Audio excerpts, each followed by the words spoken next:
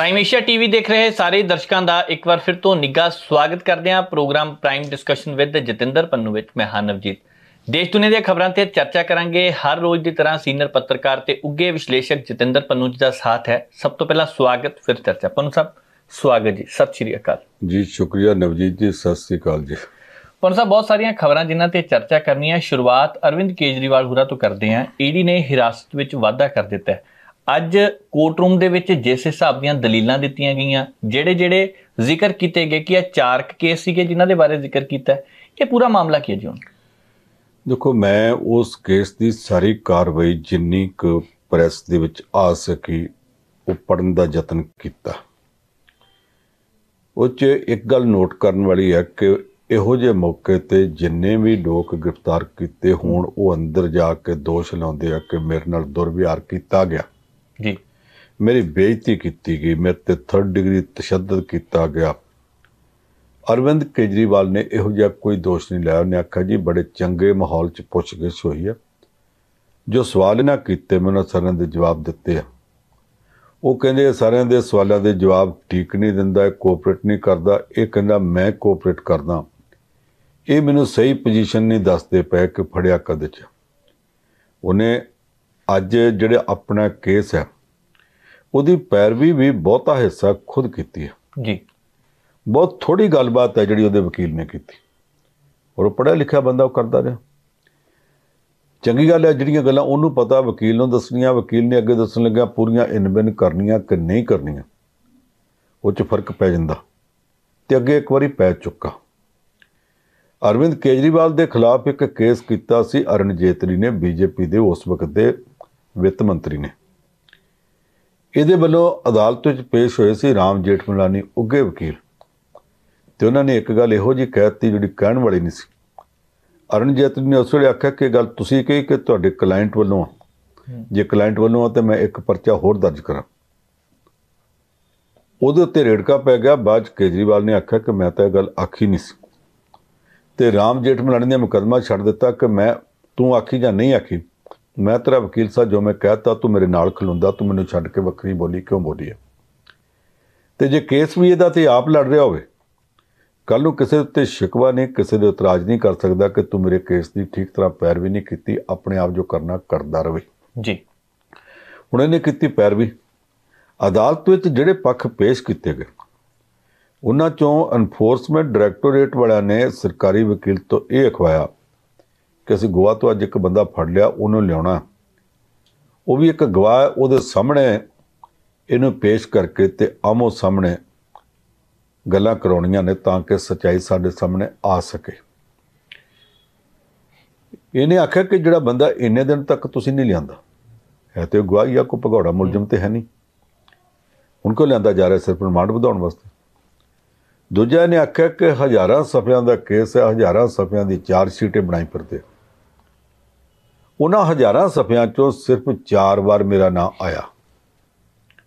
ਬਾਕੀ ਥਾਵਾਂ ਤੇ ਮੇਰਾ ਨਾਂ ਕਿਉਂ ਨਹੀਂ ਆਇਆ? ਕਿ 4 ਵਾਰੀ ਮੇਰਾ ਨਾਂ ਆਉਣ ਨਾਲ ਮੈਂ ਦੋਸ਼ੀ ਬਣ ਜਾਣਾ ਇੱਕ ਗੱਲ ਉਹਨੇ ਇਹ ਆਖੀ, ਫਲਾਣਾ ਬੰਦਾ ਇਹਨਾਂ ਨੇ ਫੜ ਲਿਆ।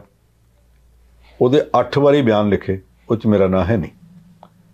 ਨੌਵੀਂ ਵਾਰੀ ਬਿਆਨ ਲਿਖਣ ਤੋਂ ਪਹਿਲਾਂ ਉਹਦੇ ਉੱਤੇ ਕਿੰਨਾ ਕੁ ਪ੍ਰੈਸ਼ਰ ਸੀ ਕਿ ਉਹ ਤੋਂ 50 ਕਰੋੜ ਰੁਪਏ ਭਾਜਪਾ ਵਾਸਤੇ ਇਲੈਕਟੋਰਲ ਬਾਂਡ ਦੇ ਰਾਹੀਂ ਫੰਡ ਲੈ ਲਿਆ।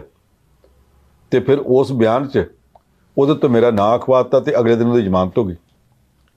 ਫਲਾਣਾ ਬੰਦਾ ਉਹਨੇ ਪੰਜ ਵਾਰੀ ਬਿਆਨ ਦਿੱਤੇ ਤੇ ਉਹ 'ਚ ਮੇਰਾ ਨਾਂ ਨਹੀਂ ਤੇ ਉਹਦੀ ਜ਼ਮਾਨਤ ਨਹੀਂ। ਛੇਵੀਂ ਵਾਰੀ ਉਹਨੇ ਬਿਆਨ 'ਚ ਮੇਰਾ ਨਾਂ ਲਿਆ ਤਾਂ ਤੇ ਅਗਲੇ ਦਿਨ ਉਹਦੀ ਜ਼ਮਾਨਤ ਹੋ ਗਈ।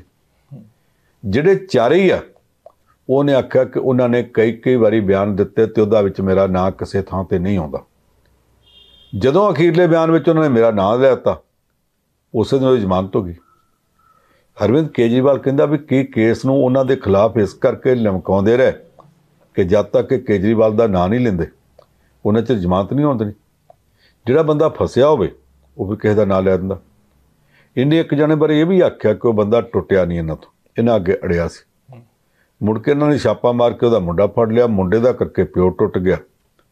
ਪਿਓ ਨੇ ਪਹਿਲੇ ਬਿਆਨਾਂ 'ਚ ਮੇਰਾ ਕਿਤੇ ਜ਼ਿਕਰ ਨਹੀਂ ਕੀਤਾ ਤੇ ਜਦੋਂ ਪੁੱਤਰ ਤੇ ਗੱਲ ਆਈ ਤੇ ਪੁੱਤਰ ਦੇ ਖਾਤਰ ਪਿਓ ਝੁਕ ਗਿਆ ਤੇ ਉਹਨੇ ਇੱਕ ਬਿਆਨ 'ਚ ਮੇਰਾ ਨਾਂ ਲੈਤਾ ਉਸੇ ਦਿਨ ਸ਼ਾਮ ਨੂੰ ਉਹਦੀ ਜ਼ਮਾਨਤ ਹੋ ਗਈ, ਪੁੱਤਰ ਵੀ ਛੱਡ ਦਿੱਤਾ ਤੇ ਅਗਲੇ ਦਿਨ ਤੋਂ ਮੈਨੂੰ ਦੋਸ਼ੀ ਬਣਾਤਾ ਜਿਹੜੇ ਢੰਗ ਨਾਲ ਉਹਨੇ ਕੇਸ ਪੇਸ਼ ਕੀਤਾ, ਉਸ ਕੇਸ ਦਾ ਜਿਹੜਾ ਕੈਟੇਗਰੀਕਲੀ ਇੱਕ ਇੱਕ ਗੱਲ ਦਾ ਜਵਾਬ ਦੇਣਾ ਸੀ। ਉਹ ਐਨਫੋਰਸਮੈਂਟ ਡਾਇਰੈਕਟੋਰੇਟ ਦੇ ਵੱਲੋਂ ਪੇਸ਼ ਹੋਏ ਐਡੀਸ਼ਨਲ ਸੋਲਿਸਿਟਰ ਜਨਰਲ ਤੋਂ ਨਹੀਂ ਦਿੱਤਾ ਗਿਆ। ਉਹ ਆਪਣੇ ਢੰਗ ਨਾਲ ਬਥੇਰਾ ਕੁਝ ਕਹਿੰਦੇ, ਅਸੀਂ ਆ ਕਰਤਾ, ਉਹ ਕਰਤਾ। ਪਰ ਜਿੰਨਾ ਮਰਜ਼ੀ ਕਹੀ ਜਾਣ, ਰਿਕਾਰਡ ਕਈ ਵਾਰੀ ਵੇਖੀਦਾ ਤੇ ਪਤਾ ਲੱਗ ਜਾਂਦਾ। ਇਹ ਜਿਹੜੀ ਕੋਰਟ ਵਿੱਚ ਕੇਸ ਪੇਸ਼ ਕੀਤਾ ਗਿਆ, ਉੱਥੇ ਹੁਣ ਪਤਾ ਨਹੀਂ ਕਿਸ ਕਿਸ ਦਾ ਪ੍ਰੈਸ਼ਰ ਹੋਵੇ। ਅਸੀਂ ਇਹ ਵੀ ਵੇਖਦੇ ਸਾਂ ਕਿ ਜਦੋਂ ਰਾਹੁਲ ਗਾਂਧੀ ਦੇ ਖਿਲਾਫ ਕੇਸ ਸੀ ਗੁਜਰਾਤ ਵਿੱਚ, ਉਹ ਜੱਜ ਤੇ ਕਿੰਨਾ ਕੁ ਪ੍ਰੈਸ਼ਰ ਸੀ ਕਿ ਉਹ ਉਲਟ-ਪੁਲਟ ਗੱਲਾਂ ਹੀ ਕਰ ਗਿਆ। ਉਹਨੇ ਇੱਥੋਂ ਤੱਕ ਰਾਹੁਲ ਗਾਂਧੀ ਨੂੰ ਕਹਿਤਾ ਸੀ, ਤੈਨੂੰ ਅਦਾਲਤ ਨੇ ਆਖਿਆ ਸੀ, ਸੰਭਲ ਕੇ ਬੋਲਿਆ ਕਰ, ਤੂੰ ਫਿਰ ਵੀ ਨਹੀਂ ਬੋਲਿਆ। ਆ ਗਲਤ ਗੱਲ ਫਿਰ ਬੋਲਤੀ। ਤੇ ਜਦੋਂ ਹਾਈ ਕੋਰਟ 'ਚ ਗਏ ਤੇ ਰਾਹੁਲ ਗਾਂਧੀ ਵੱਲੋਂ ਪੇਸ਼ ਹੋਏ ਆਰਐਸ ਚੀਮਾ ਨੇ ਆਖਿਆ ਕਿ ਤੁਹਾਡਾ ਜੱਜ ਕਹਿੰਦਾ ਤੈਨੂੰ ਅਦਾਲਤ ਨੇ ਰੋਕਿਆ ਸੀ, ਤੂੰ ਫੇਰ ਆ ਗੱਲ ਕਹਿਤੀ। ਜੱਜ ਨੂੰ ਪਤਾ ਨਹੀਂ ਵੀ ਇਹ ਗੱਲ ਤੇ ਪਹਿਲਾਂ ਕਹੀ, ਜਿਹੜਾ ਕਹਿੰਦਾ ਰੋਕਿਆ ਉਹ ਤੇ ਤੂੰ 8-9 ਮਹੀਨੇ ਬਾਅਦ ਰੋਕਿਆ। ਜਿਹੜਾ ਬਾਅਦ ਚ ਰੋਕਿਆ ਉਹਦਾ ਅਸਰ ਪਹਿਲਾਂ ਕਿੱਦਾਂ ਹੋ ਜਾਂਦਾ? ਯਾਨੀ ਜੱਜ ਵੀ ਕਈ ਵਾਰੀ ਇੰਨੇ ਦਬਾਅ ਥੱਲੇ ਹੁੰਦੇ ਆ ਵੀ ਕੁਝ ਨਾ ਕੁਝ ਲਿਖਣ ਦੀ ਖਾਤਰ ਲਿਖਣਾ, ਲਿਖਣ ਦੀ ਖਾਤਰ ਲਿਖਣਾ, ਲਿਖਣ ਦੀ ਖਾਤਰ ਲਿਖਣਾ ਤਾਂ ਲਿਖ ਜਾਂਦੇ ਆ। ਜੀ। ਸਾਡੇ ਅਦਾਲਤੀ ਢਾਂਚੇ ਨੂੰ ਅਸੀਂ ਬਿਲਕੁਲ ਸੱਚਾ ਸੁੱਚਾ ਨਹੀਂ ਕਹਿ ਸਕਦੇ ਤੇ ਬਿਲਕੁਲ ਗਰਕਿਆ ਵੀ ਨਹੀਂ ਕਹਿ ਸਕਦੇ। ਕੁਝ ਨਾ ਕੁਝ ਜੱਜ ਹੈਗੇ ਜਿਹੜੇ ਜ਼ਮੀਰ ਦੀ ਆਵਾਜ਼ ਦੇ ਉੱਤੇ ਵੀ ਕੰਮ ਕਰਦੇ ਪਰ ਦੂਸਰਾ ਪਾਸਾ ਵੀ ਕੁਝ ਜੱਜਾਂ ਨੂੰ ਇਦੋਂ ਜਸਟਿਸ ਰੰਜਨ ਗੋਗੋਈ ਵੀ ਇੱਥੋਂ ਹੀ ਨਿਕਲਦੇ। ਬਿਲਕੁਲ। ਕਿੰਨੀ ਬਦਨਾਮੀ ਹੋ ਚੁੱਕੀ ਹੈ ਖੈਰ ਜੋ ਵੀ ਹੈ ਹਾਲ ਦੀ ਘੜੀ ਅਰਵਿੰਦ ਕੇਜਰੀਵਾਲ ਦਾ ਰਿਮਾਂਡ ਇੱਕ ਵਾਰੀ ਵਧਾ ਦਿੱਤਾ ਗਿਆ। ਪਰ ਇਸ ਕੇਸ ਦੇ ਮਾਮਲੇ 'ਚ ਅੱਜ ਜਿਹੜੀ ਉਹਨੇ ਨਿੱਜੀ ਤੌਰ ਤੇ ਬਹਿਸ ਕੀਤੀ ਸਾਰੀਆਂ ਗੱਲਾਂ ਆਪ ਖੋਲੀਆਂ ਨੇ। ਉਹਨਾਂ ਦੇ ਨਾਲ ਉਹਨੇ ਇੱਕ ਕਿਸਮ ਦਾ ਸਰ- ਕੇਂਦਰ ਸਰਕਾਰ ਦੇ ਹਮਾਇਤੀਆਂ ਨੂੰ ਤੇ ਸਾਰੇ ਸਿਸਟਮ ਨੂੰ ਇਹੋ ਜਿਹਾ ਕਟਾਇਜ ਖੜਾ ਕਰ ਦਿੱਤਾ ਜਿਹਦੇ ਇਹਨਾਂ ਨੂੰ ਜਵਾਬ ਦੇਣੇ ਪੈਣਗੇ, ਨਹੀਂ ਤੇ ਕੱਲ ਨੂੰ ਚੋਣਾਂ 'ਚ ਇਹੋ ਹੀ ਜੀ ਅੱਜ ਵਾਲੀ ਸਾਰੀ ਬਹਿਸ ਇਨ ਬਿਨ ਪੇਸ਼ ਹੋ ਕੇ ਦਾ ਪਬਲਿਕ ਵਿੱਚ ਚਲੀ ਗਈ। ਕੇਂਦਰ ਸਰਕਾਰ ਚਲਾਉਣ ਵਾਲਿਆਂ ਵਾਸਤੇ ਇਹ ਘਾਟੇਬੰਦੀ ਸਾਬਤ ਹੋ ਹੋਵੇਗੀ ਜੀ। ਪਰ ਸਰ, ਸਿਆਸਤ ਦੀ ਗੱਲ ਚੱਲਦੀ ਪਈ ਹੈ ਤੇ ਆਮ ਆਦਮੀ ਪਾਰਟੀ ਦਾ ਜ਼ਿਕਰ ਕਰਨਾ, ਆਪਰੇਸ਼ਨ ਲੋਟਸ ਦਾ ਜ਼ਿਕਰ ਪਹਿਲਾਂ ਵੀ ਹੋਇਆ ਜਿਹੜੇ ਵਿਧਾਇਕਾਂ ਨੇ ਦੋਸ਼ ਲਗਾਏ ਸੀਗੇ, ਉਹ ਵਿਧਾਇਕ ਇੱਕ ਭਾਰਤੀ ਜਨਤਾ ਪਾਰਟੀ ਵਿੱਚ ਚਲੇ ਗਏ। ਹੁਣ ਫਿਰ ਆਮ ਆਦਮੀ ਪਾਰਟੀ ਕਹਿੰਦੀ ਹੈ ਕਿ 25 ਕਰੋੜ ਤੋਂ ਲੈ ਕੇ 45 ਕਰੋੜ ਤੱਕ ਸਾਨੂੰ ਖਰੀਦਣ ਦੀ ਕੋਸ਼ਿਸ਼ ਕੀਤੀ ਜਾ ਰਹੀ ਹੈ। ਅਚਾਨਕ ਚੋਣਾਂ ਤੋਂ ਪਹਿਲਾਂ ਇਹ ਮੁੱਦਾ ਬਣਾਇਆ ਜਾ ਰਿਹਾ ਜੇ ਵਾਕਈ ਗੱਲ ਹੋਊਗੀ ਕੋਈ? ਵੀ ਜਿਹੜੇ ਪੈਸੇ ਦੇ ਕੇ ਖਰੀਦਣ ਦੀ ਗੱਲ ਆ ਉਹ ਉਦੋਂ ਹੁੰਦੀ ਹੈ ਜਦੋਂ ਕੋਈ ਸਰਕਾਰ ਤੋੜਨੀ ਹੋਵੇ ਜਾਂ ਜਦੋਂ ਸਰਕਾਰ ਕੋਈ ਨਵੀਂ ਜੋੜਨੀ ਹੋਵੇ। ਹੂੰ। ਵੀਪੀ ਸਿੰਘ ਪ੍ਰਧਾਨ ਮੰਤਰੀ ਹੁੰਦਾ ਸੀ ਰਾਜੀਵ ਗਾਂਧੀ ਤੋਂ ਬਾਅਦ ਉਹਦੀ ਸਰਕਾਰ ਤੋੜ ਕੇ ਚੰਦਰ ਸ਼ੇਖਰ ਦੀ ਬਣਾਉਣੀ ਸੀ। ਉਦੋਂ ਪੈਸਿਆਂ ਦਾ ਲੈਣ ਦੇਣ ਪਹਿਲੀ ਵਾਰੀ ਖੁੱਲੇ ਤੌਰ ਤੇ ਚੱਲਦਾ ਸੁਣਿਆ ਸੀ। ਚਰਚਾ ਤੇ ਪਹਿਲਾਂ ਚੌਧਰੀ ਚਰਨ ਸਿੰਘ ਤੇ ਮੁਰਾਰੀ ਦੇਸਾਈ ਦੇ ਝਗੜੇ 'ਚ ਵੀ ਚੱਲੀ ਸੀ। ਜੀ। ਪਰ ਖੁੱਲੀ ਚਰਚਾ ਜਿਹੜੀ ਸੀ ਇਹਨਾਂ ਦੇ ਵਕਤ ਚੱਲੀ। ਇਹਨਾਂ ਦੇ ਇੱਕ ਕੇਂਦਰ ਚ ਮੰਤਰੀ ਹੁੰਦਾ ਸੀ ਵੀਪੀ ਸਿੰਘ ਦੇ ਨਾਲ ਉਹਦਾ ਨਾਂ ਸ਼ਾਇਦ ਭਾਗਿਆ ਚੰਦਰ ਕੁਝ ਇਸ ਤਰ੍ਹਾਂ ਦਾ ਨਾਂ ਸੀ। ਉਹਨੇ ਸਵੇਰੇ ਉੱਠ ਕੇ ਪਾਰਲੀਮੈਂਟ 'ਚ 11 ਵਜੇ ਇਹ ਗੱਲ ਆਖੀ ਕਿ ਮੈਨੂੰ 50 ਲੱਖ ਰੁਪਏ ਪੇਸ਼ ਕੀਤੇ ਗਏ। 50 ਲੱਖ ਰੁਪਏ 1999 90 ਚ। ਅੱਜ ਤੋਂ 34 ਸਾਲ ਪਹਿਲਾਂ ਜਿਹੜੇ 50 ਲੱਖ ਸੀ ਉਹਦਾ ਅੱਜ ਕਿੰਨਾ ਮੁੱਲ ਹੋ ਤੁਸੀਂ ਅੰਦਾਜ਼ਾ ਲਾ ਸਕਦੇ। ਉਹਨੇ ਆਖਿਆ ਜੀ ਮੈਨੂੰ 50 ਲੱਖ ਰੁਪਏ ਪੇਸ਼ ਕੀਤੇ ਗਏ ਆ ਕਿ ਤੂੰ ਵੀਪੀ ਸਿੰਘ ਦਾ ਸਾਥ ਛੱਡ ਤੇ ਚੰਦਰ ਸ਼ੇਖਰ ਨਾਲ ਜੁੜ ਜਾ। ਪਰ ਮੇਰੀ ਜ਼ਮੀਰ ਬਕਾਊ ਨਹੀਂ ਕਿ ਇੰਨੇ ਪੈਸਿਆਂ ਤੇ ਵੇਚ ਜਾਵੇ। ਇਹ ਗੱਲ ਉਹਨੇ 11 ਵਜੇ ਆਖੀ ਤੇ 4 ਵਜੇ ਯਾਨੀ ਸਿਰਫ 5 ਘੰਟੇ ਬਾਅਦ। ਉਹ ਬੰਦਾ ਵੀਪੀ ਸਿੰਘ ਨੂੰ ਛੱਡ ਕੇ ਚੰਦਰ ਸ਼ੇਖਰ ਨਾਲ ਜੁੜ ਗਿਆ ਮੰਤਰੀ ਮੰਡਲ ਤੋਂ ਅਸਤੀਫਾ ਦੇ ਦਿੱਤਾ ਤੇ ਵਿਰੋਧੀ ਧਿਰ ਚ ਚੰਦਰ ਸ਼ੇਖਰ ਨਾਲ ਜਾ ਕੇ ਖਲੋ ਕੇ। ਉਹਨੇ ਆਖਿਆ ਜੀ ਮੈਂ ਵੀਪੀ ਸਿੰਘ ਨਾਲ ਨਹੀਂ ਮੈਂ ਚੰਦਰ ਸ਼ੇਖਰ ਨਾਲ। ਮੈਂਬਰਾਂ ਨੇ ਪੁੱਛਿਆ ਜਿਹੜੀ ਜ਼ਮੀਰ ਤੇਰੀ ਸਵੇਰੇ 11 ਵਜੇ 50 ਲੱਖ ਤੇ ਨਹੀਂ ਸੀ ਵਿਕਦੀ ਹੁਣ ਕਿੰਨੇ ਤੇ ਵਿਕੀ ਇਹੋ ਹੀ ਦੱਸ ਦੇ। ਜੀ। ਹੁਣ ਇਹ ਸਵਾਲ ਤਾਂ ਇੱਥੇ ਪੰਜਾਬ ਵਿੱਚ ਵੀ ਉੱਠੇਗਾ ਜਿਹੜੇ ਕਹਿੰਦੇ ਸੀ ਸਾਨੂੰ ਆਪਰੇਸ਼ਨ ਲੋਟਸ ਦੇ ਵਿੱਚ ਪੈਸੇ ਪੇਸ਼ ਹੋਏ ਉਹ ਜੇ ਬਾਅਦ ਵਿੱਚ ਪਾਰਟੀ ਛੱਡ ਕੇ ਦੂਸਰੀ ਪਾਰਟੀ ਚਲੇ ਗਏ ਉਸ ਪਾਰਟੀ ਚਲੇ ਗਏ ਜਿੱਤੇ ਦੋਸ਼ ਲਾਉਂਦੇ ਸੀ ਕਿ ਪੈਸੇ ਪੇਸ਼ ਕਰਦੀ ਹੈ। ਤੇ ਫਿਰ ਲੋਕਾਂ 'ਚ ਚਰਚਾ ਤੇ ਚੱਲੂਗੀ ਨਾ ਕਿ ਉਦੋਂ ਕੀ ਗੱਲ ਰੇਟ ਘੱਟ ਸੀ ਤੇ ਬਾਅਦ 'ਚ ਜਿਹੜਾ ਜਾਇਜ਼ ਰੇਟ ਮਿਲ ਗਿਆ ਸੀ। ਜੀ। ਲੋਕਾਂ ਦੇ ਮੂੰਹ ਨਹੀਂ ਫੜ ਰਹੇ ਲੋਕੀ ਗੱਲਾਂ ਬਹੁਤ ਕਰਨਗੇ। ਇਹਦੇ ਬਾਰੇ ਚ ਜਿਹੜੇ ਸਬੰਧਤ ਲੀਡਰ ਆ ਸਬੰਧਤ ਮੈਂਬਰ ਉਹ ਪਾਰਲੀਮੈਂਟ ਦੇ ਹੋਣ ਅਸੈਂਬਲੀ ਦੇ ਹੋਣ ਉਹਨਾਂ ਥੋੜਾ ਸੋਚਣਾ ਪਊ। ਹੁਣ ਉਹਨਾਂ ਤੋਂ ਬਾਅਦ ਉਹਦੇ ਨਾਲ ਦੇ ਤਿੰਨ ਹੋਰ ਵਿਧਾਇਕਾਂ ਨੇ ਦੋਸ਼ ਲਾਤਾ ਸਾਨੂੰ 25 ਕਰੋੜ ਤੋਂ ਲੈ ਕੇ 45 ਕਰੋੜ ਜਿਹੜਾ ਉਹਦੀ ਪੇਸ਼ਕਸ਼ ਹੋਈ ਹੈ। ਵੀ ਮਾੜੀ ਗੱਲ ਹੈ, ਜੇ ਕਿਸੇ ਨੇ ਪੇਸ਼ਕਸ਼ ਕੀਤੀ ਹੈ। ਹੋਰ ਵੀ ਮਾੜੀ ਗੱਲ ਹੈ ਕਿ ਤੁਸੀਂ ਪੇਸ਼ਕਸ਼ ਸੁਣ ਕੇ ਚੁੱਪ ਕੀਤੇ ਰਹੇ। ਤੁਸੀਂ ਉਸੇ ਵੇਲੇ ਅੱਜ ਕੱਲ ਸਾਰਿਆਂ ਦੇ ਫੋਨ ਤੇ ਰਿਕਾਰਡਿੰਗ ਹੈ ਉਹ ਰਿਕਾਰਡਿੰਗ ਇੱਕ ਥਾਣੇ ਜਾ ਕੇ ਪਰਚਾ ਦਰਜ ਕਿਉਂ ਨਹੀਂ ਕਰਾਇਆ? ਜੇ ਨਹੀਂ ਵੀ ਕਰਾਇਆ, ਹੁਣ ਜੋ ਤੁਸੀਂ ਕਹਿੰਦੇ ਪਏ ਹੋ, ਪਬਲਿਕ ਨੂੰ ਇਹ ਗੱਲ ਗਰੰਟੀ ਦੇਣ ਵਾਸਤੇ ਕਿ ਅਸੀਂ ਜੋ ਆਖਿਆ, ਸੱਚ ਆਖਿਆ ਸੀ, ਇਹ ਤੋਂ ਭੱਜਦੇ ਨਹੀਂ। ਤੁਸੀਂ ਅਗਲਿਆਂ ਦਿਨਾਂ 'ਚ ਇਹਦੀ ਕੋਈ ਸ਼ਿਕਾਇਤ ਪੁਲਿਸ ਨੂੰ ਕਰੋਗੇ? ਕੋਈ ਪਰਚਾ ਦਰਜ ਕਰਾਓਗੇ? ਜਿਹੜਾ ਬੰਦਾ ਕੱਲ ਚਲਾ ਗਿਆ ਭਾਜਪਾ 'ਚ ਉਹ ਕਹਿੰਦਾ ਜੀ ਆਪਰੇਸ਼ਨ ਲੋਟਸ ਦਾ ਜਿਹੜਾ ਦੋਸ਼ ਸੀ ਉਹ ਮੈਂ ਨਹੀਂ ਸੀ ਲਾਇਆ। ਮੇਰੇ ਤੋਂ ਮੇਰੀ ਪਾਰਟੀ ਨੇ ਝੂਠਾ ਦੋਸ਼ ਲਵਾਇਆ ਸੀ। ਜੀ। ਇਹ ਗੱਲ ਤੇ ਕੱਲ ਨੂੰ ਇਹਨਾਂ ਤਿੰਨਾਂ ਚੋਂ ਕੋਈ ਕਹਿ ਸਕਦਾ। ਅੱਜ ਕੱਲ ਰਾਜਨੀਤਿਕ ਲੀਡਰ ਜਿਹੜੇ ਆ ਇਹਨਾਂ ਦੇ ਉੱਤੇ ਕੋਈ ਭਰੋਸਾ ਨਹੀਂ ਕੀਤਾ ਜਾ ਸਕਦਾ। ਇੱਕ ਮੁੰਡੇ ਨੇ ਪਿਓ ਨੂੰ ਆਖਿਆ ਸੀ ਲੀਡਰ ਨੂੰ ਮੈਨੂੰ ਰਾਜਨੀਤੀ ਦੇ ਗੁਰਦਾਸ ਕਹਿੰਦਾ ਤੂੰ ਕੀ ਲੈਣਾ? ਕਹਿੰਦਾ ਲੀਡਰ ਬਣਨਾ। ਕਹਿੰਦਾ ਆ ਚਲੀ ਛੱਤ ਤੇ। ਛੱਤ ਤੇ ਜਾ ਕੇ ਕਹਿੰਦਾ ਤੂੰ ਅੱਖਾਂ ਮੀਟ। ਬਨੇਰੇ ਲਾ ਕੇ ਖਲੋ ਸਾਹਮਣੇ ਛਾਲ ਮਾਰ ਦੇ। ਕਹਿੰਦਾ ਮੈਨੂੰ ਕੁਝ ਸੱਟ ਲੱਗ ਜੂਗੀ। ਕਹਿੰਦਾ ਮੈਂ ਥੱਲੇ ਫੜਣਾ ਮੁੰਡੇ ਛਾਲ ਮਾਰੀ ਤੇ ਲੱਤਾਂ ਟੁੱਟ ਗਈਆਂ। ਹਸਪਤਾਲ ਚਲਾ ਗਿਆ ਪਿਓ ਪਤਾ ਲੈਣ ਗਿਆ ਮੁੰਡਾ ਅੱਗੋਂ ਗਾਲਾਂ ਕੱਢੇ। ਤੂੰ ਮੇਰਾ ਧੋਖਾ ਕੀਤਾ। ਪਿਓ ਕਹਿੰਦਾ ਮੈਂ ਧੋਖਾ ਨਹੀਂ ਕੀਤਾ। ਰਾਜਨੀਤੀ ਦਾ ਸਭ ਤੋਂ ਪਹਿਲਾ ਸਬਕ ਇਹ ਆ ਕਿ ਜੇ ਰਾਜਨੀਤੀ ਕਰਨੀ ਤੇ ਸਕੇ ਪਿਓ ਦੇ ਉੱਤੇ ਵੀ ਭਰੋਸਾ ਪ੍ਰਾਪਤ ਨਹੀਂ ਸੋ ਐਸ ਵੇ ਪੰਜਾਬ ਦੀ ਰਾਜਨੀਤੀ ਹੋਵੇ ਭਾਰਤ ਦੀ ਹੋਵੇ ਅਸਲੀ ਗੁਰ ਇਹੋ ਹੀ ਹੈ ਬਿਲਕੁਲ। ਪਨ ਸਾਹਿਬ ਅੱਗੇ ਵਧਦੇ ਗੱਲ ਕਰਨੀ ਹੈ ਭਾਜਪਾ ਦੀ। 80000 ਤੋਂ ਵੱਧ ਵਰਕਰ ਵੱਖ-ਵੱਖ ਰਾਜਨੀਤਿਕ ਪਾਰਟੀਆਂ ਦੇ ਉਹਨਾਂ ਨੇ ਸ਼ਾਮਲ ਕਰ ਲਿਆ ਤੇ ਆਉਂਦੇ ਸਮੇਂ ਨੂੰ ਦਾਅਵੇ ਹੋਰ ਵੀ ਕੀਤੇ ਜਾ ਰਹੇ ਨੇ। ਕਈ ਸਿਆਸਤਦਾਨਾਂ ਦਾ ਰੌਲਾ ਵੀ ਚੱਲਦਾ ਪਿਆ ਕਿ ਸ਼ਾਮ ਨੂੰ ਸਵੇਰ ਨੂੰ ਜਾ ਸਕਦੇ ਆ। ਭਾਜਪਾ ਕਹਿੰਦੀ ਸੀ ਕਿ ਅਸੀਂ 1 ਲੱਖ ਤੋਂ ਵੱਧ ਵਰਕਰ ਇਕੱਠੇ ਕਰਨੇ ਆ। ਇਹ ਫਿਰ ਟਾਰਗੇਟ ਜਿਹੜਾ ਪੂਰਾ ਕੀਤਾ ਜਾ ਰਿਹਾ? ਦੇਖੋ ਭਾਈ ਇੱਕ ਗੱਲ ਤੇ ਮੰਨਣੀ ਚਾਹੀਦੀ ਆ ਕਿ ਇਸ ਵੇਲੇ ਜਿਹੜਾ ਉਹ ਪੰਜਾਬੀ ਚ ਗਾਣਾ ਹੁੰਦਾ ਸੀ ਨਾ ਜਿੱਥੇ ਜ ਮਰਜ਼ੀ ਜੋ ਮਰਜ਼ੀ ਕਰਵਾ ਲਈ ਮਿੱਤਰਾਂ ਦਾ ਨਾਂ ਚੱਲਦਾ। ਨਰਿੰਦਰ ਮੋਦੀ ਦਾ ਨਾਂ ਚੱਲਦਾ ਹੈ। ਉਸ ਨਾਂ ਚੱਲਦੇ ਜੋ ਮਰਜ਼ੀ ਕਰਾਈ ਜਾਓ ਉੱਥੋਂ ਇੱਕ ਗੱਲ ਤਾਂ ਇਹ ਆ ਕਿ ਉਹ ਜੋ ਕਹਿੰਦਾ ਸਾਰਾ ਮੀਡੀਆ ਮੀਡੀਆ ਵੀ ਉਹਨਾਂ ਦੀ ਜੇਬ ਚੋਂ ਛਾਪ ਹਰ ਗੱਲ ਪੇਸ਼ ਕਰੀ ਜਾਂਦੇ ਨੇ ਦੂਸਰੀ ਗੱਲ ਇਹ ਕਿ ਇਹਨਾਂ ਨੇ ਜਿੰਨੀਆਂ ਪਾਰਟੀਆਂ ਚੋਂ ਜਿੰਨੇ ਲੀਡਰ ਤੇ ਜਿੰਨੇ ਵਰਕਰ ਖਿੱਚ ਕੇ ਆਪਣੇ ਨਾਲ ਜੋੜੇ ਆ, ਜਿਹੜੇ ਅਜੇ ਤੱਕ ਨਹੀਂ ਜੁੜੇ ਜਾਂ ਜਿਹੜੇ ਅੜੇ ਵੀ ਆ, ਜਿਨ੍ਹਾਂ ਨੇ ਨਹੀਂ ਵੀ ਜੁੜਨਾ ਉਹਨਾਂ ਬਾਰੇ ਵੀ ਕੋਈ ਆਖੇ ਨਾ ਕਿ ਉਧਰ ਜਾ ਰਿਹਾ ਤੇ ਲੋਕੀ ਕਹਿੰਦੇ ਫਲਾਨਾ ਚਲਾ ਗਿਆ ਸਾਨੂੰ ਤੇ ਉਹ ਨਹੀਂ ਯਕੀਨ ਕਿ ਉਹ ਵੀ ਚੱਲ ਜੂ। ਤੇ ਜੇ ਉਹ ਚਲਾ ਗਿਆ ਤੇ ਆ ਵੀ ਚਲੇ ਜਾਣਗੇ। ਇੱਥੇ ਕਈ ਬੰਦੇ ਸਾਡੇ ਪੰਜਾਬ ਵਿੱਚ ਵੀ ਹੋਰ ਥਾਵਾਂ ਤੇ ਵੀ ਜਿਹੜੇ ਲਗਾਤਾਰ ਬੀਜੇਪੀ ਦੇ ਖਿਲਾਫ ਬੋਲਦੇ ਸੀ ਤੇ ਜਾਣ ਲੱਗਾ ਇੱਕ ਚੁਟਕੀ ਲਾਈ ਛਾਲ ਮਾਰ ਕੇ ਬੀਜੇਪੀ 'ਚ ਸ਼ਾਮਲ ਹੋ ਗਏ। ਉਹ ਕਹਿੰਦੇ ਜੇ ਫਲਾਨਾ ਹੋ ਸਕਦਾ ਤੇ ਇਹਨੂੰ ਕੀ ਤਕਲੀਫ ਇਹ ਵੀ ਹੋ ਜਾਊਗਾ ਇਹਦਾ ਕਰਕੇ ਲਗਭਗ ਉਹਨਾਂ ਸਾਰਿਆਂ ਥਾਵਾਂ ਤੇ ਕੀਤਾ। ਦੂਸਰੀ ਗੱਲ ਇਹ ਕਿ ਬੀਜੇਪੀ ਨੇ ਆਪਣੀ ਰਾਜਨੀਤੀ ਵੱਖਰੀ ਕਿਸਮ ਦੀ ਚਲਾਈ ਹੈ ਜਿਹਦੇ ਵਿੱਚ ਸਾਮ ਦਾਮ ਦੰਡ ਭੇਦ ਕੋਈ ਤਰੀਕਾ ਉਹਨਾਂ ਛੱਡਿਆ ਨਹੀਂ ਹਰ ਤਰੀਕਾ ਵਰਤ ਕੇ ਆਪਣੀ ਪਾਰਟੀ ਨੂੰ ਵੱਡੀ ਤੋਂ ਵੱਡੀ ਪਹਿਲਾਂ ਨਾਲੋਂ ਹੋਰ ਵੱਡੀ ਉਹ ਬਣਾਉਂਦੇ ਗਏ। ਉਹਦੇ 'ਚ ਇੱਕ ਵਕਤ ਸੀ ਜਦੋਂ ਪਾਰਟੀ ਆਰਐਸਐਸ ਵਰਗੇ ਸੰਗਠਨ ਦੀ ਵਿਚਾਰਧਾਰਾ ਨਾਲ ਬੱਝੇ ਹੋਣ ਦਾ ਹਵਾਲਾ ਦਿੰਦੀ। ਜੀ। ਦਾਵਾ ਕਰਦੇ ਸੀ ਇਹ। ਅਟਲ ਬਿਹਾਰੀ ਵਾਜਪਾਈ ਸਰਕਾਰ ਵੇਲੇ ਵਾਜਪਾਈ ਦਾ ਸਭ ਤੋਂ ਚਹੇਤਾ ਮੰਤਰੀ ਪ੍ਰਮੋਦ ਮਹਾਜਨ ਹੁੰਦਾ ਸੀ ਜਿਹਨੂੰ ਜਦੋਂ ਸਰਕਾਰ ਨਾ ਰਹੀ ਤੇ ਸਕੇ ਭਰਾ ਨੇ ਗੋਲੀ ਮਾਰ ਕੇ ਮਾਰਤਾ ਸੀ ਛੋਟੇ ਭਰਾ ਨੇ। ਉਹ ਪ੍ਰਮੋਦ ਮਹਾਜਨ ਚੁਟਕੀਆਂ ਵਜਾ ਕੇ ਕਹਿੰਦਾ ਹੁੰਦਾ ਸੀ ਜਿਹੜੇ ਬੰਦੇ ਕੋਲ ਚਾਰ ਪੈਸੇ ਹੈਗੇ ਆ ਜਿਹਦੇ ਕੋਲ ਕੋਈ ਰੁਤਬਾ ਹੈਗਾ ਜਿਹਦਾ ਲੋਕਾਂ 'ਚ ਨਾਂ ਹੈਗਾ ਆਜੇ ਅਸੀਂ ਭਾਜਪਾ 'ਚ ਸ਼ਾਮਲ ਕਰਾਂਗੇ। ਖੁੱਲਾ ਸੱਦਾ ਦਿੰਦਾ। ਇਸ ਵੇਲੇ ਜਿਹੜੇ ਪਾਰਟੀ ਦੇ ਲੀਡਰ ਨੇ ਉਹ ਇਹੋ ਜਿਹੇ ਸੱਦੇ ਕੋਈ ਨਹੀਂ ਦਿੰਦੇ।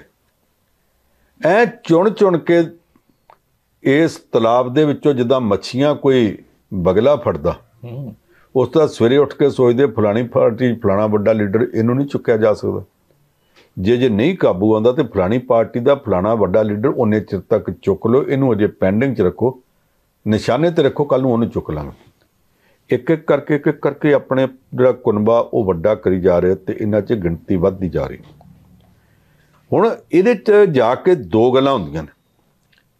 ਪਹਿਲੀ ਗੱਲ ਤਾਂ ਇਹ ਕਿ ਕਾਂਗਰਸੀ ਇਹ 'ਚ ਬਹੁਤ ਆ ਗਏ। ਮੈਂ ਅੱਗੇ ਵੀ ਆਖਿਆ ਸੀ ਕਿ ਮੁਕਤ ਤੇ ਯੁਕਤ ਦੋ ਗੱਲਾਂ ਨੇ। ਮੋਦੀ ਸਾਹਿਬ ਕਾਂਗਰਸ ਮੁਕਤ ਭਾਰਤ ਬਣਾਉਣ ਤੁਰੇ ਤੇ ਕਾਂਗਰਸ ਯੁਕਤ ਭਾਜਪਾ ਬਣਾਤੀ। ਤੇ ਹਾਲਤ ਇਹ ਆ ਕੱਲ ਨੂੰ ਚੋਣਾਂ ਹੋਣੀਆਂ ਪਟਿਆਲੇ ਤੋਂ ਬੀਬੀ ਪ੍ਰਨੀਤ ਕੌਰ ਉਹ ਪੁਰਾਣੀ ਕਾਂਗਰਸੀ ਚੋਣ ਲੜੇਗੀ। ਸੰਗਰੂਰ ਤੋਂ ਕੇਵਲ ਸੋ ਢਿੱਲੋਂ ਨੂੰ ਲੜਾਉਣਗੇ ਪੁਰਾਣਾ ਕਾਂਗਰਸੀ ਚੋਣ ਲੜੇਗਾ। ਲੁਧਿਆਣੇ 'ਚੋਂ ਰਵਨੀਤ ਸਿੰਘ ਬਿੱਟੂ ਪੁਰਾਣਾ ਕਾਂਗਰਸੀ ਚੋਣ ਲੜੇਗਾ। ਜਲੰਧਰ 'ਚੋਂ ਸੁਸ਼ੀਲ ਕੁਮਾਰ ਰਿੰਕੂ ਭਾਵੇਂ ਹੁਣ ਆਪ 'ਚੋਂ ਆਇਆ ਪਰ ਪਹਿਲਾਂ ਤੇ ਕਾਂਗਰਸੀ ਸੀ ਉਹ। ਚੋਣ ਲੜੇਗਾ। ਘੱਟੋ ਘੱਟ ਤਿੰਨ ਹਲਕੇ ਹੋ ਰਿਹਾ ਜਿਨ੍ਹਾਂ 'ਚੋਂ ਇੱਕ ਮਾਝੇ ਦਾ ਵੀ ਹੈ ਜਿੱਥੋਂ ਪੁਰਾਣੇ ਕਾਂਗਰਸੀ ਭਾਜਪਾ 'ਚ ਸ਼ਾਮਲ ਹੋਣ ਵਾਲੇ ਆ ਤੇ ਚੋਣ ਲੜਨਗੇ ਤੇ ਗੱਲ ਫਿਰੋਜ਼ਪੁਰ ਦੀ ਵੀ ਹੈ। ਇੱਕ ਸਥਿਤੀ ਹੋ। ਰਿਹਾ ਅੱਜ ਮੱਧ ਪ੍ਰਦੇਸ਼ ਚੋਂ ਇੱਕ ਬਿਆਨ ਆ ਗਿਆ ਭਾਜਪਾ ਦੇ ਬੜੇ ਸੀਨੀਅਰ ਕੇਂਦਰੀ ਲੀਡਰ ਦਾ।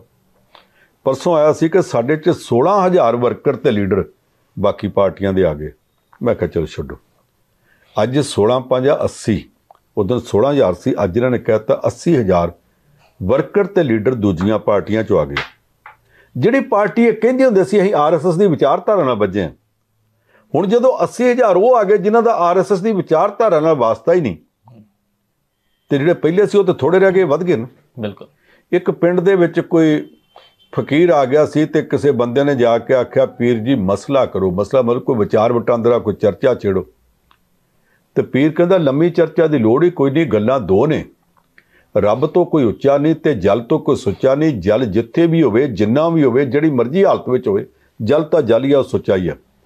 ਲਾਗੇ ਇੱਕ ਸ਼ਰਾਰਤੀ ਸੀ। ਉਹ ਕਹਿੰਦਾ ਜੇ ਇੱਕ ਬੱਠਲ ਹੋਵੇ ਜਲ ਦਾ ਤੇ ਉਹਦੇ 'ਚ ਦੋ ਬਾਟੇ ਲਿਆ ਕੇ ਕੂੜੇ ਦੇ ਪਾ ਦਈਏ ਫਿਰ ਵੀ ਜਲ ਸੁੱਚਾ ਹੀ ਰਹੂਗਾ। ਤੁਸੀਂ ਟਿਊਬਵੈਲ ਚੋਂ ਲਿਆ ਕੇ ਜਲ ਪਾਇਆ ਸਾਫ਼ ਸੁਥਰਾ। ਮੈਂ ਲਿਆ ਕੇ ਦੋ ਬਾਟੇ ਕੂੜੇ ਦੇ ਪਾ ਦਿੰਦਾ ਫਿਰ ਵੀ ਪੀਰ ਜੀ ਸੱਚੇ ਹੋਏਗਾ ਪੀਰ ਚੁੱਪ ਕਰ ਗਿਆ ਸੀ। ਹੁਣ ਜਿਹੜੀ ਤੁਹਾਡੀ ਵਿਚਾਰਧਾਰਾ ਵਾਲੀ ਪਾਰਟੀ ਸੀ ਕਹਿੰਦੇ ਸੀ ਚਾਲ ਚਰਿੱਤਰ ਤੇ ਚਿਹਰਾ। ਉਹਦੇ ਨਾਲ ਬੱਝੀ ਹੋਈ ਪਾਰਟੀ ਹੈ। ਜੇ ਉਹ ਚ ਪਹਿਲਾਂ 16000 ਹੁਣ ਤੁਸੀਂ 80000 ਕਹਿੰਦੇ ਹੋ ਜਦੋਂ ਤੱਕ ਵੋਟਾਂ ਪੈਣੀ ਉਦੋਂ ਤੱਕ 8 ਲੱਖ ਬੰਦੇ ਤੁਸੀਂ ਹੋਰ ਪਾ ਲਏ। ਜੀ। ਤੇ ਇਹਦਾ ਚਾਲ ਚਰਿੱਤਰ ਚਿਹਰਾ ਉਹ ਤੇ ਤੈਨੇ ਲੱਭਣੇ ਹੀ ਕੋਈ ਨਹੀਂ। ਹੁਣ ਤਾਂ ਫਿਰ ਨਵੀਂ ਕਿਸਮ ਦਾ ਹੋਊਗਾ ਹੁਣ ਤਾਂ ਉਹ ਜਿਹੜਾ ਪੁਰਾਣੀ ਪਾਰਟੀ ਜਿਹਨੂੰ ਕਹਿ ਸਕਦੇ ਸੀ ਜਲ ਵਾਂਗ ਸੁੱਚਾ ਹੁਣ ਤਾਂ ਫਿਰ ਇਹੋ ਹੀ ਗਾਉਣਾ ਰਹਿ ਗਿਆ ਰਾਮ ਤੇਰੀ ਗੰਗਾ ਮੈਲੀ ਹੋ ਗਈ ਪਾ- ਪਾਪੀਆਂ ਕ ਪਾਪ ਧੋਤੇ ਤੁਧ ਨਹੀਂ ਪਾਪੀਆਂ ਨੂੰ ਆਪਣੇ ਚ ਖਿੱਚ ਕੇ ਗੋਤੇ ਦਿੰਦਿਆਂ ਦਿੰਦਿਆਂ ਤੁਸੀਂ ਫਿਰ ਪਾਰਟੀ ਇਹਨੂੰ ਅਜੇ ਵੀ ਜੇ ਭਾਜਪਾ ਉਹ ਕਹੀ ਜਾਂਦੇ ਆ ਤੇ ਫਿਰ ਗੱਲ ਤਾਂ ਸਿੱਧੀ ਹੈ।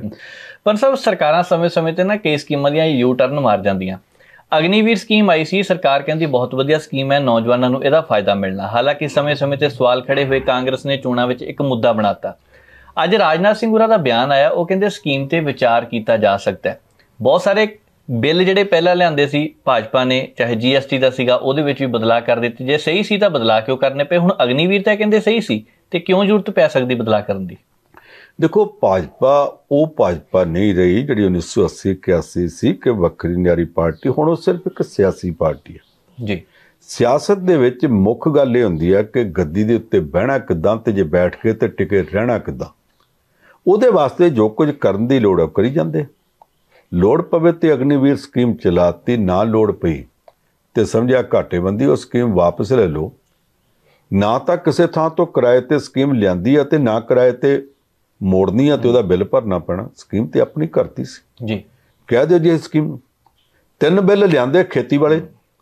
ਕਿਸਾਨਾਂ ਦਾ ਮੋਰਚਾ ਲੱਗ ਗਿਆ। ਕਹਿੰਦੇ ਰੇ ਬਿੱਲ ਬਹੁਤ ਕਮਾਲ ਦੇ ਅਸੀਂ ਤੇ ਕਿਸੇ ਨਾਲ ਗੱਲ ਹੀ ਨਹੀਂ ਕਰਨੀ। ਤੇ ਜੋ ਦਬਾਅ ਵੱਧ ਗਿਆ ਤੇ ਤਿੰਨੇ ਬਿਨਾਂ ਕਿਸੇ ਸ਼ਰਤ ਤੋਂ ਬਿਨਾਂ ਕਿਸੇ ਮੀਟਿੰਗ ਤੋਂ ਇੱਕ ਤਰਫਾ ਤੌਰ ਤੇ ਵਾਪਸ ਲੈ ਲਏ ਸੀ ਨੇ। ਕੀ ਹੋ ਗਿਆ? ਕੋਈ ਫ਼ਰਕ ਹੀ ਨਹੀਂ ਪਿਆ। ਹੁਣ ਅਗਨੀਵੀਰ ਸਕੀਮ ਇਹਨਾਂ ਲਿਆਂਦੀ ਸੀ। ਜਦੋਂ ਮਰਜ਼ੀ ਵਾਪਸ ਲੈ ਲੈਣ ਤਜਰਬਾ ਇਹ ਦੱਸਦਾ, ਹਿਮਾਚਲ ਪ੍ਰਦੇਸ਼ 'ਚ ਭਾਰਤੀ ਜਨਤਾ ਪਾਰਟੀ ਇਸ ਕਰਕੇ ਹਾਰ ਗਈ ਕਿ ਉਹ ਛੋਟੀ ਜਿਹੀ ਸਟੇਟ ਹੈ ਜਿਨੇ ਇਸ ਦੇਸ਼ ਨੂੰ ਬਹੁਤ ਸਾਰੇ ਸ਼ਹੀਦ ਦਿੱਤੇ ਉੱਥੋਂ ਦੇ ਹਰ ਘਰ ਦੇ ਵਿੱਚੋਂ ਜਾਂ ਕੋਈ ਫੌਜੀ ਹੈ ਤੇ ਜਾਂ ਕੋਈ ਸਾਬਕਾ ਫੌਜੀ ਹੈ ਜਾਂ ਕੋਈ ਨਵਾਂ ਨੌਜਵਾਨ ਫੌਜ 'ਚ ਭਰਤੀ ਹੋਣ ਨੂੰ ਤਿਆਰ ਖੜਾ। ਜਦੋਂ ਉਹਨਾਂ ਨੂੰ ਪਤਾ ਲੱਗਾ ਕਿ ਥੋੜੇ ਚਿਰ ਵਾਸਤੇ ਭਰਤੀ ਕਰਕੇ 4-5 ਲੱਖ ਰੁਪਏ ਦੇ ਕੇ ਮੁੜ ਕੇ ਨਾ ਘਰ ਨੂੰ ਤੋੜ ਤੋਰ ਦੇਣਾ ਫਿਰ ਅਸੀਂ ਹੋਟਲਾਂ ਦੇ ਬਾਹਰ ਟੂਰਿਸਟ ਆਉਂਦਿਆਂ ਨੂੰ ਆਖਿਆ ਕਰਾਂਗੇ, ਸਰ ਜੀ, ਆਓ ਜੀ, ਸਾਡੇ ਹੋਟਲ 'ਚ ਉੱਥੋਂ ਮੈਨੂੰ 200 ਰੁਪਿਆ ਕਮਿਸ਼ਨ ਮਿਲ ਜੂਗਾ ਉਹ ਇਸ ਗੱਲ ਤੇ ਸੜ ਗਏ। ਉਹ ਕਹਿੰਦੇ, ਸਾਡੇ ਨਾਲ ਧੋਖਾ ਹੋ ਰਿਹਾ। ਉਹਨਾਂ ਸਾਰਿਆਂ ਨੇ ਜਿਹੜੇ ਫੌਜੀ ਦੇ ਵਿੱਚ ਸੀ, ਉਹਨਾਂ ਨੇ ਵੀ ਜਿਹੜੇ ਫੌਜੀਆਂ ਦੇ ਪਰਿਵਾਰ ਸੀ ਪੁੱਛੇ, ਉਹਨਾਂ ਨੇ ਵੀ ਭਾਜਪਾ ਦੇ ਖਿਲਾਫ ਵੋਟਾਂ ਪਾਈਆਂ। ਪਿਛਲੀਆਂ ਚਾਰ ਚੋਣਾਂ 'ਚ ਲਗਾਤਾਰ ਹਰ ਸੀਟ ਦੇ ਉੱਤੇ ਫੌਜੀਆਂ ਦੀਆਂ ਵੋਟਾਂ ਜਿਹੜੀਆਂ ਪੋਸਟਲ ਬੈਲਟ ਆਉਂਦੇ, ਉਹ ਭਾਜਪਾ ਦੀਆਂ ਵੱਧ ਸੀ, ਕਾਂਗਰਸ ਦੀਆਂ ਘੱਟ ਹੁੰਦੀਆਂ ਸੀ। ਅਗਨੀਵੀਰ ਸਕੀਮ ਆਉਣ ਤੋਂ ਬਾਅਦ ਪਹਿਲੀ ਵਾਰ ਹੈ ਕਿ ਫੌਜੀਆਂ ਤੇ ਪੈਰਾਮਿਲਟਰੀ ਵਾਲਿਆਂ ਦੀਆਂ ਅਹ, ਵੋਟਾਂ ਆਈਆਂ ਜਿਹੜੀਆਂ ਅਗਨੀਵੀਰ ਸਕੀਮ ਦੇ ਦਬਾਅ ਥੱਲੇ ਆਈਆਂ। ਉਹਨਾਂ 'ਚ ਕਾਂਗਰਸ ਦੀਆਂ ਵੱਧ ਗਈਆਂ ਤੇ ਭਾਜਪਾ ਦੀਆਂ ਘਟ ਗਈਆਂ। ਕਿਉਂ ਘਟ ਗਈਆਂ? ਜੀ। ਇਸ ਕਰਕੇ ਕਿ ਫੌਜੀਆਂ ਤੇ ਫੌਜੀਆਂ ਦੇ ਪਰਿਵਾਰਾਂ ਨੇ ਪੀੜਤ ਪਰਿਵਾਰਾਂ ਨੇ ਸ਼ਹੀਦ ਪਰਿਵਾਰਾਂ ਨੇ ਇਹਨੂੰ ਮਾੜਾ ਸਮਝਿਆ। ਹੁਣ ਅੱਗੋਂ ਭਾਜਪਾ ਦੁਬਾਰਾ ਰਿਸਕ ਨਹੀਂ ਲੈਣਾ ਚਾਹੁੰਦੀ। ਇਹਦਾ ਕਰਕੇ ਉਹ ਕਹਿੰਦੇ ਚਲ ਕੋਈ ਗੱਲ ਨਹੀਂ ਇਹਨਾਂ ਨੂੰ ਪਿੱਛੇ ਧੱਕ ਦਿੰਨੇ ਆ ਪਰ ਇਹ ਸਕੀਮ ਉਹਨਾਂ ਵਾਪਸ ਨਹੀਂ ਲੈਣੀ। ਉਹ ਕਹਿੰਦੇ ਸੋਧ ਲੈਣੇ ਆ ਸੋਧਣ ਦਾ ਮਤਲਬ ਕੀ ਆ? ਸਾਡੀਆਂ ਬੀਬੀਆਂ ਪੁਰਾਣਾ ਮਿੱਟੀ ਦਾ ਚੁੱਲ੍ਹਾ ਬਣਾਉਂਦੀਆਂ ਸੀ, ਜਿੱਤ ਤਵਾ ਰੱਖਣਾ, ਜਿੱਤ ਤੌੜੀ ਰੱਖ ਕੇ ਸਬਜ਼ੀ ਬਣਾਉਣੀ ਹੁੰਦੀ ਸੀ। ਉਹਦੇ ਪਿੱਛੋਂ ਦੀ ਇੱਕ ਮੋਰੀ ਕੱਢ ਕੇ ਪਿਛਲੇ ਪਾਸੇ ਇੱਕ ਹੋਰ ਮਗੋਰਾ ਜਿਹਾ ਕਰਦੇ ਸੀ ਜੀ ਚੋਂ ਅੱਗ ਨਿਕਲਦੀ ਸੀ। ਉਹਨੂੰ ਕਹਿੰਦੇ ਨੇ ਲੂੰਬੀ। ਇੱਕ ਤੌੜੀ ਪਾਣੀ ਦੀ ਭਰ ਕੇ ਤੇ ਉਹ ਪਿਛਲੇ ਪਾਸੇ ਉੱਤੇ ਟਿਕਾ ਦਿੰਦੀਆਂ ਵੀ ਜਿਹੜਾ ਚੁੱਲ੍ਹੇ ਦਾ ਵਾਧੂ ਸੇਕ ਹੈ ਤਵੇ ਤੇ ਤੌੜੀ ਤੋਂ, ਉਹ ਪਿੱਛੋਂ ਦੀ ਇੱਥੇ ਆਜੂ ਘੱਟੋ ਘੱਟ ਪਾਣੀ ਗਰਮ ਕਰਦਾ ਰੂ ਇਹਨੂੰ ਅੰਗਰੇਜ਼ੀ 'ਚ ਕਹਿੰਦੇ ਆ ਬੈਕ ਬਰਨਰ ਉੱਥੇ ਰੱਖ ਕੇ ਕੋਈ ਚੀਜ਼ ਨਿੱਗੀ ਰੱਖਣਾ। ਇਹ ਅਗਨੀਵੀਰ ਸਕੀਮ ਵਾਪਸ ਨਹੀਂ ਲੈਣਗੇ। ਮਾੜਾ ਜਿਹਾ ਸੋਧਣ ਦੇ ਨਾਂ ਤੇ ਬੈਕ ਬਰਨਰ ਤੇ ਰੱਖਣਗੇ ਲੋੜ ਪਈ ਤੇ ਫਿਰ ਕੱਢ ਲੈਣ। ਜੀ। ਪਰ ਸਾਹਿਬ ਅੱਗੇ ਵਧਦੇ ਗੱਲ ਕਰਨੀ ਪਾਕਿਸਤਾਨ ਦੀ। ਪਾਕਿਸਤਾਨ ਇਸਲਾਮਾਬਾਦ ਹਾਈ ਕੋਰਟ ਦੇ 6 ਜੱਜਾਂ ਨੇ ਆਈਐਸਆਈ ਤੇ ਗੰਭੀਰ ਦੋਸ਼ ਲਗਾਏ ਹੈ। ਕਿਹੜੇ ਦੋਸ਼ ਹੈ ਜੀ? ਦੇਖੋ ਇਸਲਾਮਾਬਾਦ ਪਾਕਿਸਤਾਨ ਦਾ ਸਧਾਰਨ ਸ਼ਹਿਰ ਨਹੀਂ। ਬਾਕੀ ਸੂਬਿਆਂ 'ਚ ਹਾਈ ਕੋਰਟਾਂ ਨੇ। ਪੇਸ਼ਾਵਰ ਹਾਈ ਕੋਰਟ ਹੈ ਸਿੰਧ ਹਾਈ ਕੋਰਟ ਹੈ ਪੰਜਾਬ ਦੀ ਹਾਈ ਕੋਰਟ ਲਾਹੌਰ 'ਚ ਹੈ, ਪਾਕਿਸਤਾਨ ਦੇ ਪੰਜਾਬ ਦੀ। ਜਿਹੜੀ ਇਸਲਾਮਾਬਾਦ ਹਾਈ ਕੋਰਟ ਆ, ਉਹ ਪਾਕਿਸਤਾਨ ਦਾ ਜਿਹੜਾ ਕੈਪੀਟਲ ਰੀਜਨ ਹੈ, ਜਿਹੜੀ ਰਾਜਧਾਨੀ ਆ ਉਹਦੀ ਹਾਈ ਕੋਰਟ ਹੈ। ਉਹਦੇ 6 ਜੱਜਾਂ ਨੇ ਸਾਂਝੇ ਤੌਰ ਤੇ ਇੱਕ ਪੱਤਰ ਜਾਰੀ ਕੀਤਾ, ਇੱਕ ਚਿੱਠੀ ਜਾਰੀ ਕੀਤੀ ਹੈ, ਜਿਸ 'ਚ ਉਹਨਾਂ ਨੇ ਆਖਿਆ ਜੀ, ਦੇਸ਼ ਦੀ ਖੁਫੀਆ ਏਜੰਸੀ ਆਈਐਸਆਈ ਸਾਡੇ ਤੋਂ ਧਮਕੀਆਂ ਦੇ ਕੇ ਦਬਾਅ ਪਾ ਕੇ ਇਹੋ ਜਿਹੇ ਫੈਸਲੇ ਕਰਵਾ ਰਹੀ ਹੈ। ਜਿਹੜੇ ਫੈਸਲੇ ਨਿਆਂ ਦੇ ਮੁਤਾਬਕ ਨੇ ਤੇ ਅਸੀਂ ਇਹੋ ਜਿਹੇ ਫੈਸਲੇ ਮਜਬੂਰ ਹੋ ਕੇ ਕਰ ਰਹੇ ਹਾਂ ਇਹਨੂੰ ਰੋਕਿਆ ਜਾਵੇ। ਜੀ। ਇਸ ਖੁਫੀਆ ਏਜੰਸੀ ਦੇ ਉੱਤੇ ਪਹਿਲਾਂ ਭਾਰਤ ਵਾਲੇ ਦੋਸ਼ ਲਾਉਂਦੇ ਸੀ ਫਿਰ ਅਮਰੀਕਾ ਵਾਲੇ ਦੋਸ਼ ਲਾਉਂਦੇ ਸੀ ਫਿਰ ਸਾਰੀ ਦੁਨੀਆ ਦੇ ਦੇਸ਼ਾਂ 'ਚ ਦੋਸ਼ ਲੱਗਣ ਲੱਗ ਪਿਆ ਕਿ ਆਪਣਾ ਘਰ ਸਾਂਭਣ ਜੋਗੇ ਨਹੀਂ। ਤੇ ਇਹਨਾਂ ਦੇਸ਼ਾਂ 'ਚ ਜਾ ਕੇ ਆਈਐਸਆਈ ਪਿਟਣੇ ਪਾਉਂਦੀ ਆ ਅੱਤਵਾਦ ਫੈਲਾਉਂਦੀ ਲੋਕ ਮਰਵਾਉਂਦੀ ਆ। ਉਹਦੇ ਤੋਂ ਬਾਅਦ ਪਾਕਿਸਤਾਨ ਦੇ ਆਪਣੇ ਅੰਦਰੋਂ ਲੀਡਰਾਂ ਦਾ ਇੱਕ ਬੜਾ ਵੱਡਾ ਹਿੱਸਾ ਕਹਿਣ ਲੱਗ ਪਿਆ ਕਿ ਸਾਡੀ ਸਿਆਸੀ ਜਿਹੜੀ ਜ਼ਿੰਦਗੀ ਆ, ਉਹਦੇ 'ਚ ਪਹਿਲਾਂ ਫੌਜ ਦਾ ਸਿੱਧਾ ਦਖਲ ਹੁੰਦਾ ਸੀ, ਹੁਣ ਫੌਜ ਦਾ ਨਹੀਂ, ਫੌਜ ਦੇ ਵਿੱਚੋਂ ਬਣੀ। ਜਿਹੜੀ ਆਈਐਸਆਈ ਨਾਂ ਦੀ ਖੁਫੀਆ ਏਜੰਸੀ ਦੇ ਇੰਨਾ ਦਖਲ ਹੈ ਕਿ ਸਾਨੂੰ ਹਰ ਵਕਤ ਜਾਪਦਾ, ਧਰਮਰਾਜ ਦੇ ਦੂਤ ਦੂਤ ਮੁੰਡਿਆਂ ਤੇ ਹੈਗੇ ਆ ਕਿ ਨਹੀਂ ਹੈਗੇ। ਪਰ ਆਈਐਸਆਈ ਦੇ ਪੰਜ ਚਾਰ ਦੂਤ ਸਾਡੇ ਚੋਂ ਹਰ ਇੱਕ ਦੇ ਖੱਬੇ ਸੱਜੇ ਤੁਰੇ ਫਿਰਦੇ ਆ। ਅਸੀਂ ਨਾ ਦਬਾਤ ਨੇ। ਜਦੋਂ ਪ੍ਰਧਾਨ ਮੰਤਰੀ ਨਾ ਰਿਹਾ, ਨਵਾਜ਼ ਸ਼ਰੀਫ ਨੇ ਵੀ ਇਹ ਗੱਲ ਆਖੀ ਸੀ, ਬਣ ਗਿਆ, ਹੁਣ ਦੁਬਾਰਾ ਉਹ ਨਹੀਂ ਕਹੇਗਾ।